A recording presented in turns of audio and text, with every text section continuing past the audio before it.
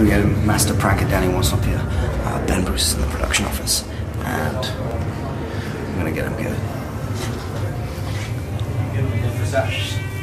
Right. I mean, we can go to so what.